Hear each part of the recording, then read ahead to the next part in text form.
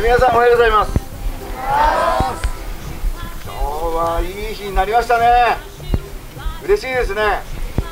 天気もこんなに素晴らしいそして今日はみんなもよく知ってる大崎選手。元。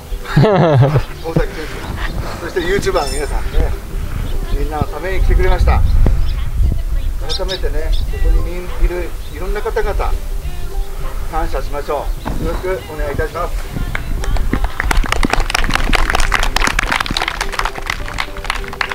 えー、続いていつもお世話になっております。所沢リトリー OB である YouTuber の小平さんそして良平さんで江頭さん。で代表ではい。はい。はい、えー、皆さんおはようございます。えー、本日は、えー、このような会呼んでいただきまして、えー、ありがとうございます。えー、僕も所沢リトルリーグの OB として、あのー、昔小島さんにはたくさんしごかれましてそのおかげで、えー、中学高校社会人と野球続けておりました、えー、今回は元西武の大崎選手に、え野球を教わるということで、え僕らも、え YouTube チャンネル、えやってまして微力ながら、え配信させていただいて皆さんの野球をする姿動画出させてもらって野球やってる姿とか、え出させていただきたいと思います。今日はですね大崎選手の素晴らしいあの技術とか学んでしっかりと次の、えステップに、えいけるように頑張ってほしいなと思います。今日よろしくお願いします。大崎裕太郎さんです。裕太郎さんよろしくお願いします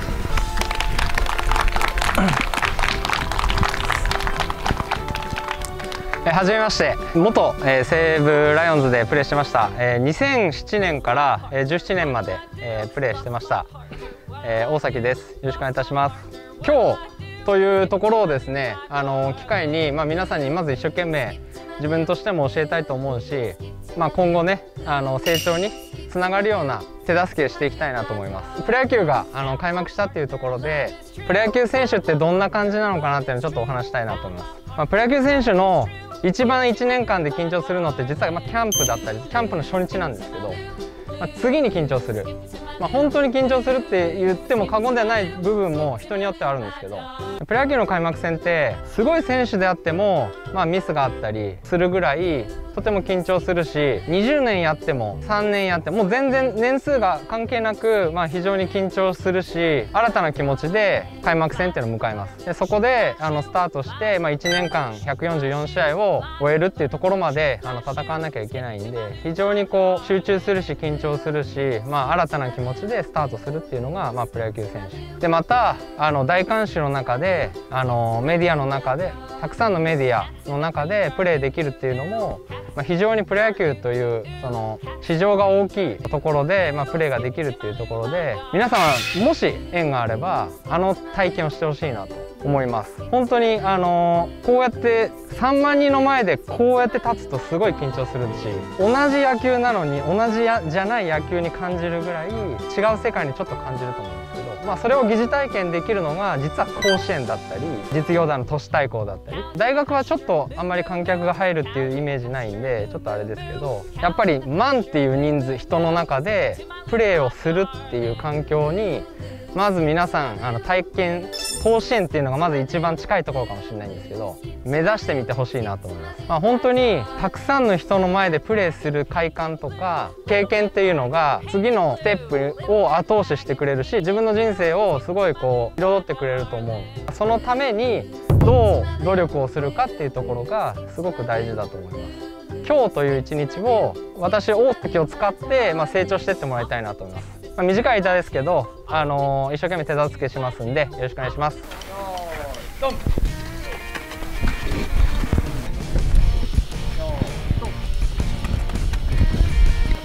おいベース踏んでねえや。よーいドン。よーいドン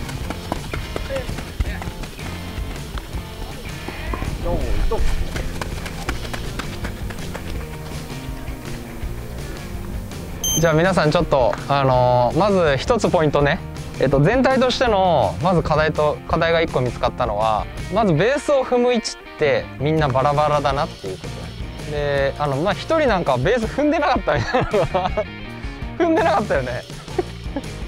えっとまず野球ってベース踏まないとあの塁に出れませんと。右足か左足かでいうとまず左足のこの一番右側の手前。を踏みましょう。まずは踏むんだけど踏んだ後にわーっと行くんじゃなくてまあ5歩から 8, 8歩ぐらいの中でなるべく止まれるように。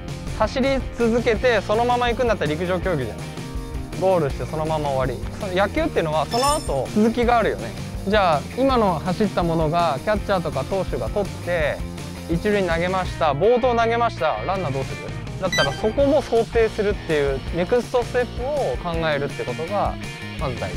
野球っていうのは測定今測定っていう話だから測定したと思うのね。でただ一生懸命走るっていうことをやったと思うんだけど実はそれだけじゃなくてネクストステップで二塁に行くっていうステップがあるね。で1名ファーストベース踏まなかったっていう方がいてでじゃあ踏んでませんでした。二塁行きたいですけどまずベースに戻ってから行かなきゃいけないからいやそうなるとじゃ進塁できるかっていうと難しいよね。なのでまずベースを踏むってことは大前提で考えても左足で踏みましょうと。でこれは左足で踏む理由っていうのは右足で踏むとこのインプレーインプレーってラインの内側に入っちゃうよね。でそこで当たらないために左足で踏みましょう。OK ですか？もう一回やろう。よーい。はい。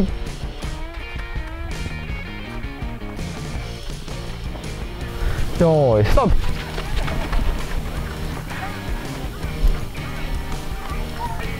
よーいスタート。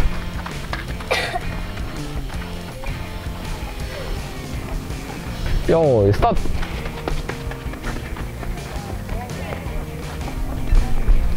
よーいスタート。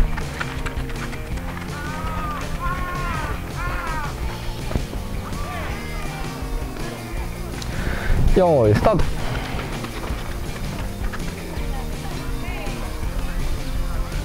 よーいスタート。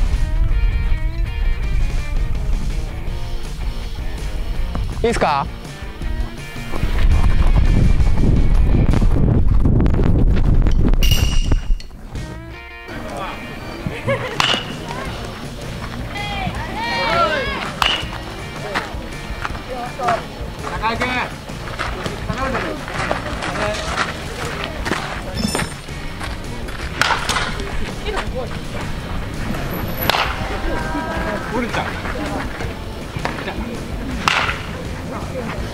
バッティング練習ってまずベース板あるじゃん。まず引っ張れるようになりましょうが大事。です引っ張れない選手は流せない。なんでかって自分の、まあ、もちろんセンター返しがすごい大事なんだけど思ったよりも速いピッチャーに対してセンター返ししようとすると全部叩きますであのセンター返しを心がけるのはもちろん大事でそれが前提ではあるんだけど引っ張れない選手がやっぱり前に飛ばないです。試合では。っていう意味であんまり自分流してなかったと思うんですけど流しに行くと全部ファールになるんで。なんでかってボールを自分の体よりも自分のポイントってあるじゃん。そこよりも流そうとすると手前側に持って打とうとするじゃない。そうするとあの自分のレフトに自分は左バッターだからレフトに打ちたいポイントに対して入れようとするからファールになっちゃうんですよ。この辺で打っちゃうから。こうやって。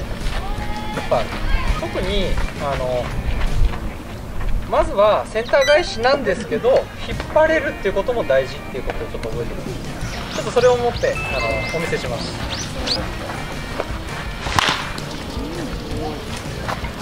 ちょっと力入れた。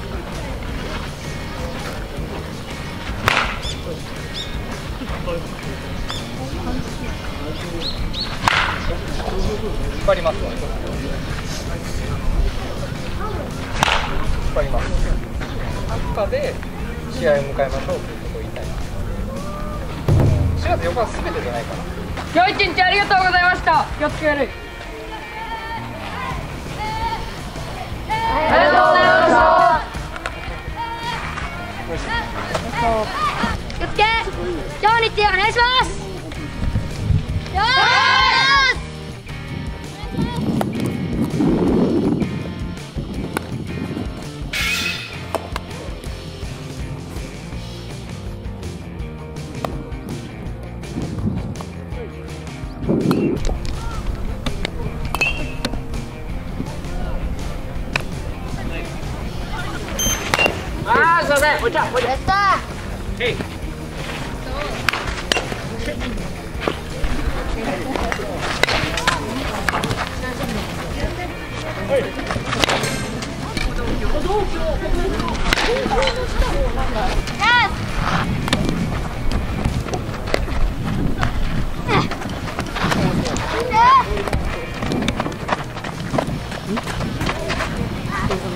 大丈夫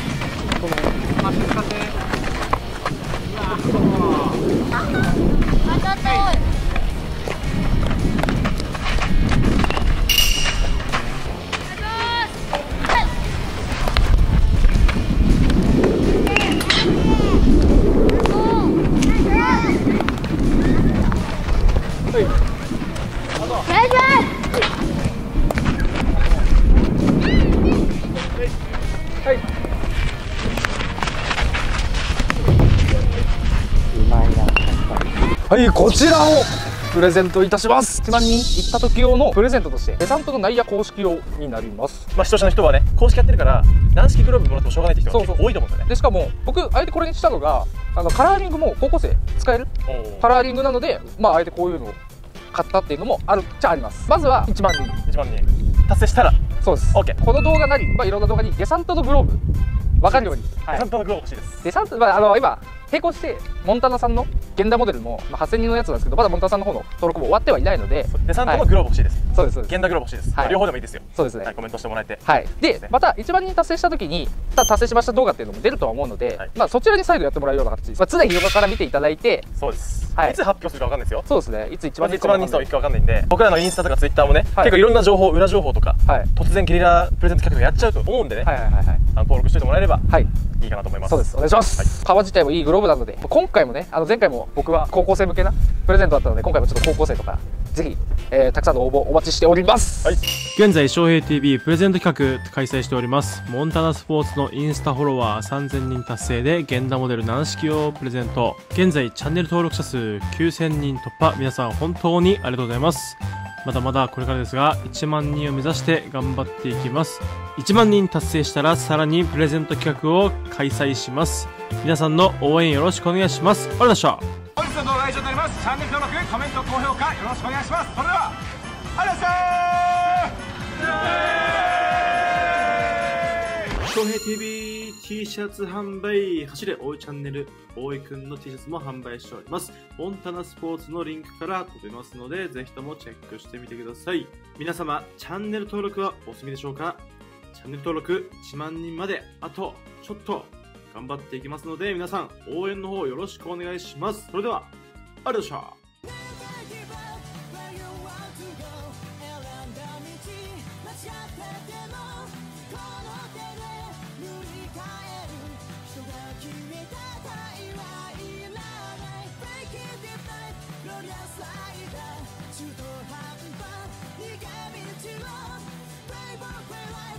きるのさ磨きで